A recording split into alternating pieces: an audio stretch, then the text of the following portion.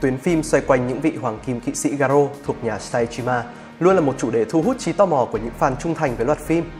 Sau phần phim Garo, Makai no Hana, Cánh hoa ma giới năm 2014 kết thúc, vẫn còn rất nhiều câu hỏi bị bỏ ngỏ. Liệu rằng Saejima Koga có thể quay trở lại sau hành trình đi giải cứu cho Kaoru? Liệu gia đình nhà Saejima có thể được đoàn tụ? Liệu rằng sẽ có thế hệ Garo kế cận tiếp theo? Và liệu Saejima Raiga có thể có một phần phim điện ảnh cho riêng mình? Tất cả những câu hỏi, những mong chờ khắc khoải suốt nhiều năm dòng ấy, sau cùng cũng được đền đáp một cách xứng đáng khi vào ngày 4 tháng 10 năm 2019, phần phim điện ảnh Garo Gekko no Tabibito Nguyệt Hồng Lữ Nhân được công chiếu tại các cụm rạp ở khắp Nhật Bản. Và sau đó, khán giả Việt Nam được dịp tiếp cận với tập phim khi bản DVD ra mắt ngày 18 tháng 3 năm 2020 được đăng tải công khai lên các website. Liệu rằng tất cả những mong ngóng của fan có được đáp ứng một cách thỏa đáng? Hôm nay, hãy cùng RTK Media tìm hiểu và đánh giá Nguyệt Hồng Nữ Nhân nhé! Để có thể phân tích phim một cách trọn vẹn nhất, bài review này sẽ đem theo những tình tiết spoilers. Nếu các bạn không cảm thấy phiền về điều ấy thì chúng ta cùng nhau bắt đầu luôn nào.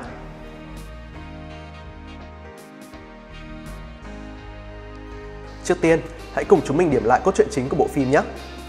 Caro, Nguyệt Hồng Nữ Nhân, mở ra với dòng hồi tưởng của Shajima Raiga về sự mất tích của cha mẹ mình, Koga và Kaoru.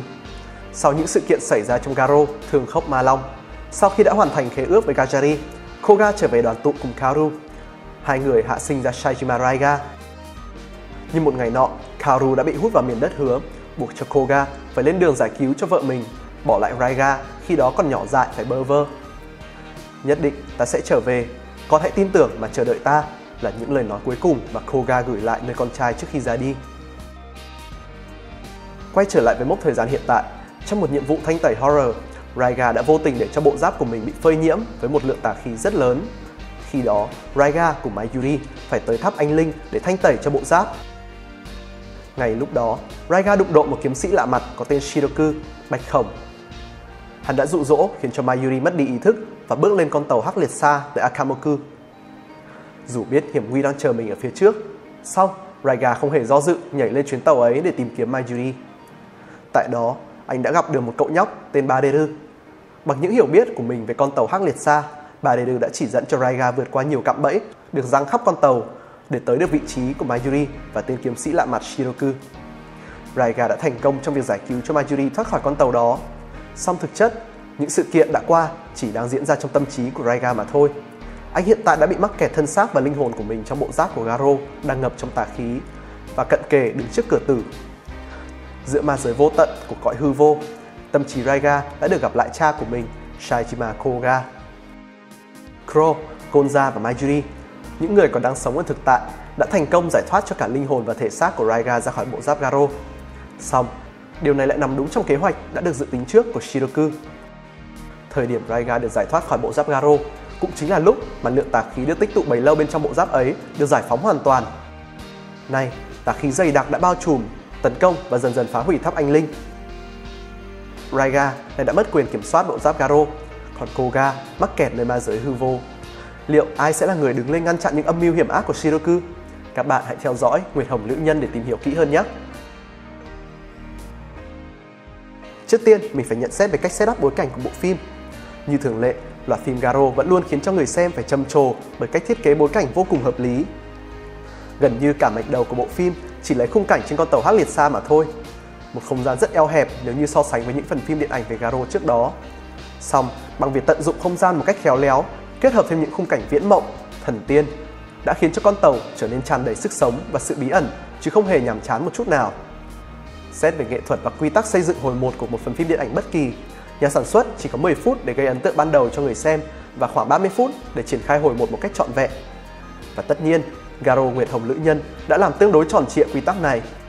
Tất nhiên là không phải hoàn hảo, nhưng vừa đủ để có thể giữ chân và thu hút khán giả tiếp tục theo dõi hướng tới những hồi sau. Về phần cốt truyện, Garo, Nguyệt Hồng Lữ Nhân đã vô cùng thành công trong việc xây dựng cốt truyện ly kỳ, bí ẩn, nhiều dấu hỏi, nhiều nút thắt, thu hút trí tò mò của khán giả xem phim Phim phân chia thời lượng cho các mạch rất khéo léo. Lượng tình tiết được đưa vào vừa đủ để khán giả không bị ngợp. Đặc biệt, những cao trào trong bộ phim được sắp xếp hợp lý theo trình tự ngày một gay cấn hơn. Mạch phim càng đi tới hồi cuối thì cao trào càng được đẩy lên cao và những bí ẩn dần dần được tháo gỡ một cách đầy tự nhiên. Xong, nhìn nhận một cách công bằng và khách quan, thì cốt truyện của Nguyệt Hồng Lữ Nhân vẫn còn khá an toàn và không quá mới mẻ. Hồi 2 của bộ phim vẫn có một số phân cảnh hơi lê thê, gây buồn ngủ và có thể cắt giảm bớt đi để làm mạch phim được chân chu hơn. Đây là một khuyết điểm mà bản thân mình không thể phủ nhận ở tập phim điện ảnh này. Tuy vậy, Garo, Nguyệt Hồng Lữ Nhân lại là một phần phim mang đậm tính tri ân dành cho fan của Garo nhất trong tất cả những phần phim trước giờ thuộc vũ trụ Garo. Tất cả những nhân tố mà khán giả mong chờ như sự trở lại của Shajima Koga, ba thế hệ Garo cùng đồng hành chiến đấu, trò chơi cờ board chess của ma giới kỵ sĩ và tu sĩ, sự trở lại của Barago, ưng hoàng kỵ sĩ vương Oga, vân vân đều đã được đưa vào bộ phim. Có thể nói, nếu xét tổng thể, tất cả những yếu tố này khi tổng hòa lại đã đủ để cho Garo, Nguyệt Hồng Lữ Nhân hoàn thành tốt phần cốt truyện. Giờ hãy cùng mình điểm mặt dàn nhân vật của bộ phim nhé. Về nhân vật chủ chốt, Shajima Raiga. Phần phim này được lấy bối cảnh sau những sự kiện của cánh hoa ma giới. Này Shajima Raiga cũng đã thực sự là một vị hoàng kim kỵ sĩ trưởng thành, dày dặn kinh nghiệm. Raiga tạo được ấn tượng rất tốt cho người xem ngay từ những phút đầu tiên của bộ phim với những lời dẫn chuyện thuật lại quá khứ của anh cũng như nhiệm vụ của các ma giới kỵ sĩ. Thú thật thì mình rất thích chất giọng của nam diễn viên Masai Nakayama. Do vậy, những phút đầu của bộ phim thực sự vô cùng cuốn hút. Tuy hiện Raiga đã là một hoàng kim kỵ sĩ lẫy lừng, song bản thân anh vẫn còn những thiếu sót và khuyết điểm. Đó chính là những mảnh ký ức mờ nhạt về cha mẹ của mình, về những cảm xúc giang dở mà anh dành cho họ. Nguyệt Hồng Nữ Nhân sẽ dành ra khoảng 10 phút giao thoa giữa hồi 1 và hồi 2 của bộ phim để khai thác những góc khuất trong cảm xúc và những chuyển biến nội tâm của Shajima Raiga, đánh thẳng vào thực tại trần trụi về việc anh suy nghĩ gì khi bị ba mẹ bỏ lại bơ vơ từ khi còn rất nhỏ. Liệu rằng anh có thật sự không có một chút oán trách nào dành cho họ? Đây là những phân cảnh thực sự vô cùng đắt giá mà khán giả đã chờ đợi được thấy. Bởi ở phần TV series Cánh Hoa Ma Giới có quá ít những tập phim khai thác rõ ràng quá khứ của Raiga, đánh vào những cảm xúc hướng về gia đình của anh Thiếu sót này này đã được khỏa lấp trong Nguyệt Hồng Nữ Nhân, khiến cho Raiga trở thành một nhân vật có chiều sâu hơn, khiến nét con người trong anh được bộc lộ rõ rệt hơn. Nhắc đến điểm hay thì tất nhiên cũng phải kể tới điểm dở. Dù đã đồng hành cùng Garo trong một thời gian dài khi thủ vai nhân vật Raiga trong cánh hoa ma giới, góp giọng lồng tiếng cho nhân vật Raiko trong Hồng Liên Nguyệt và trở lại với tư cách Saikima Raiga trong ma giới liệt truyện. Tới nay lại tiếp tục tái xuất trong Nguyệt Hồng Nữ Nhân. Song, diễn xuất của Masai Nakayama vẫn chưa thực sự thuyết phục được mình theo dõi hành trình của Raiga từ lâu, mình cảm giác có vẻ như Marseille chỉ diễn tốt được những phân cảnh biểu cảm căm phẫn và giận dữ thôi vậy. Các phân cảnh đòi hỏi diễn xuất có chiều sâu hơn thì không được Marseille làm tốt một cách trọn vẹn. Đây là một điểm khá đáng tiếc. Tiếp theo, nếu như các bạn có theo dõi những thông tin và xem poster của Nguyệt Hồng Nữ Nhân thì cũng biết ở phần phim này cả Shaijima Koga và Shaijima Taiga sẽ đều tái xuất. Tất nhiên, với hai nhân vật này thì mình cũng không có quá nhiều điều để nhận xét bởi mình cũng đã dành quá nhiều lời khen cho diễn xuất cũng như cách xây dựng nhân vật của hai người bọn họ ở những bài review trước đó về Garo rồi. Tái xuất màn ảnh rộng, màn trình diễn của Taiga và Koga đều chỉ có thể gói gọn trong hai chữ tuyệt vời. Nhưng đi sâu hơn một chút vào nhân vật Shajima Koga, đây là phần phim đã đưa tầm vóc và hình tượng người cha của anh trở nên thực sự trọn vẹn và đáng nhớ. Qua phần phim, người xem sẽ biết được rằng Koga đã phải thầm lặng hy sinh nhiều tới mức nào để có thể đánh đổi lấy hạnh phúc của con trai mình, Shajima Raiga Điều này khiến cho những người đã từng yêu thích Koga lại càng thêm khâm phục và yêu mến anh nhiều hơn nữa. Còn nhắc tới Shajima Taiga ở phần phim này, thì có lẽ sẽ thật thiếu sót nếu không kể tới nhân dạng cậu nhóc Baderu của ông. Do những xáo trộn thời không trong ma giới đã biến Taiga quay trở về là một cậu nhóc. Ông sử dụng cái tên Baderu theo tiếng ma giới cổ đại ám chỉ người cha để đồng hành dẫn dắt Koga và Raiga ứng phó với âm mưu của Shiroku. Điều làm mình thực sự ấn tượng ở Baderu chính là diễn xuất của cậu nhóc Sato Taishi. Thông thường khi xem các bộ phim Tokusatsu, mình không có mấy ấn tượng với những vai diễn do trẻ con thủ vai, bởi đa phần chúng còn khá non nớt, gượng gạo. Nhưng Sato Taishi thực sự là một nhân tố đáng được khen ngợi, là một tài năng trẻ không thể phủ nhận. Cậu nhóc đã lột tả một cách trọn vẹn sự gan lì, ương ngạnh, từng trải vốn có của Shajima Taiga, khiến cho khán giả cảm thấy cực kỳ thuyết phục. Giờ là một vài kíp phụ trong bộ phim bao gồm Mayuri, Gonza, Kro và Kaoru. Về phần Gonza và Mayuri, hai người đều giữ được phong độ diễn xuất của mình, góp phần tô điểm cho những gam màu trong bộ phim. Mayuri cũng đóng góp một vai trò đáng kể giúp cho ba thế hệ nhà Shajima có thể đứng lên đương đầu với thế lực phản diện trong bộ phim. Về phần Kaoru, sự trở lại của cô tuy còn khá ngắn ngủi, nhưng mình nghĩ như vậy đã là đủ đầy với mục đích tri ân fan. Có lẽ điểm đáng tiếc nhất của mình về mảng nhân vật của bộ phim chỉ có Crow mà thôi. Bởi suốt từ TV series Cánh Hoa Ma Giới cho tới cả movie Nguyệt Hồng Nữ Nhân, đất diễn của crow cũng rất vơi, khiến anh không có nhiều cơ hội được tỏa sáng với vai diễn của mình.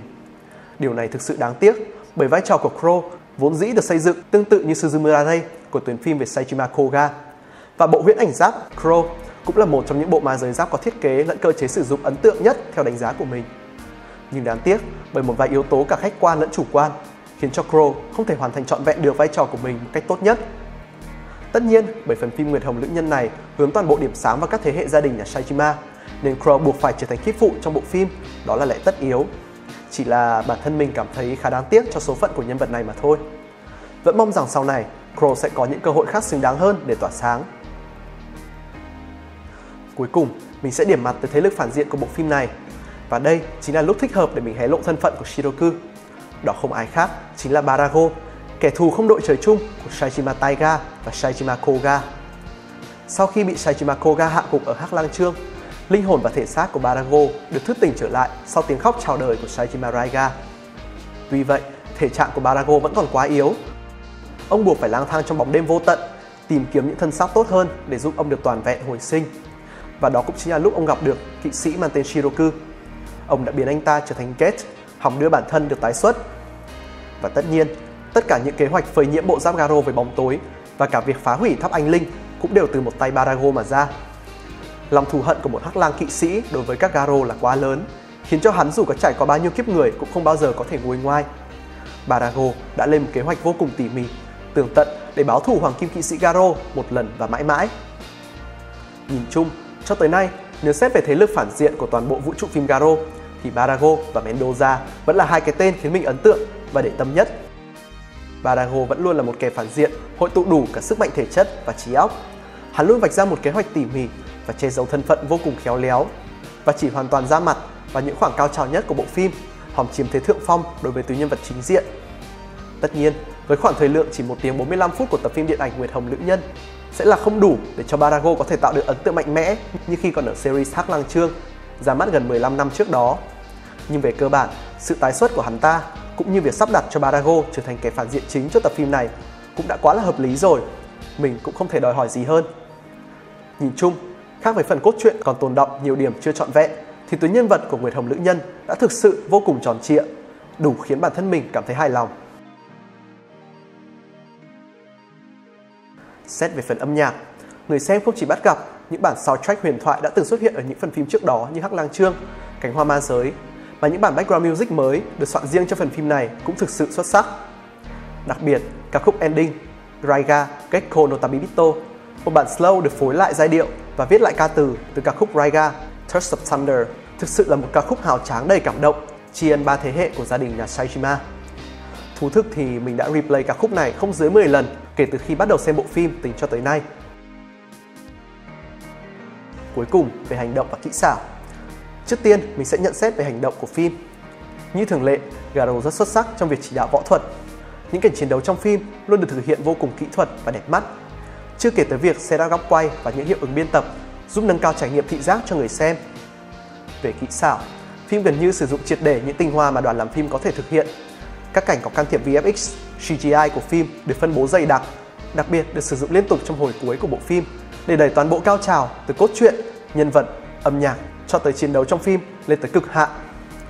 Và phân cảnh mình đang nhắc tới ở đây chính là cảnh cả ba thế hệ gia đình nhà Shijima luân phiên nhau triệu hồi hoàng kim giáp Garo để cùng phối hợp chiến đấu và hạ gục ưng hoàng kỵ sĩ vương Oga hay chính là hắc ám kỵ sĩ Kiba, Balago.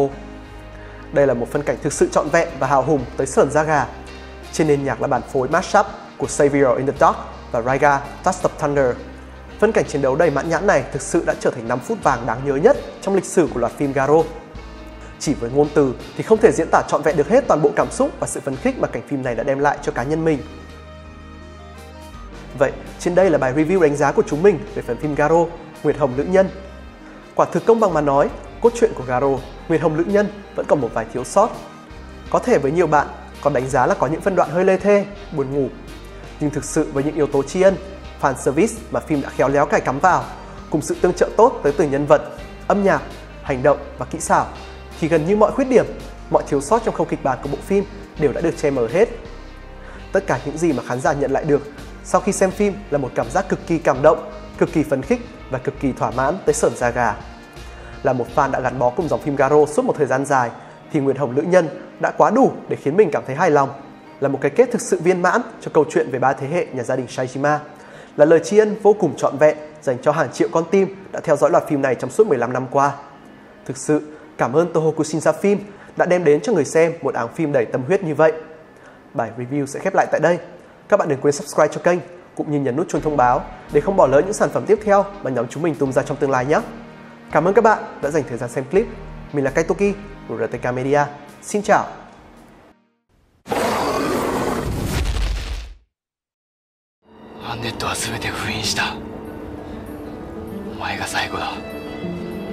ア俺とお前は戦うことでしか分かり合えない。